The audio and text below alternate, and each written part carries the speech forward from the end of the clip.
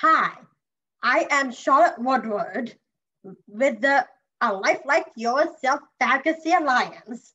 Welcome to a quick introduction about Virginia's public budget. What does the budget do?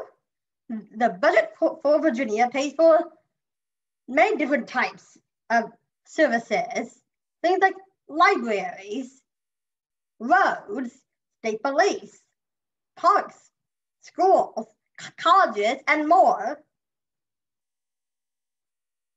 The budget also funds disability services like Medicaid waivers, dollars, and even money for the state rental assistance program.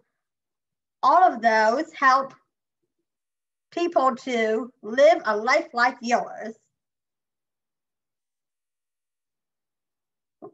Where does the money come from for, for the uh, state budget?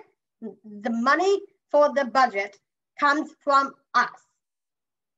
When we buy things like clothes, groceries, and pay sales tax. It also comes from people who, who work, who pay state income taxes. How is the budget made? First, the governor of Virginia makes a draft budget every year in December.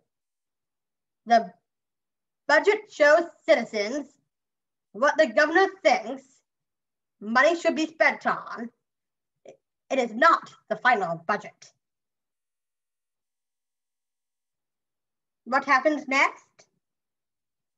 Each January, the General Assembly, which is made up of our delegates and senators host public budget hearings so that they can hear from citizens about what they think is important for Virginia to spend its money on.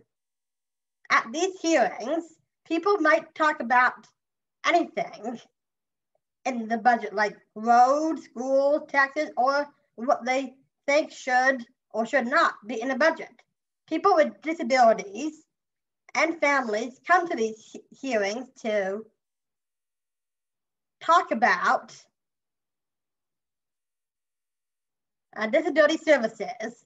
It is important for many people to be there, even if they don't speak, so that the uh, delegates and senators know that people are concerned about money for disability services. When is the public budget hearing?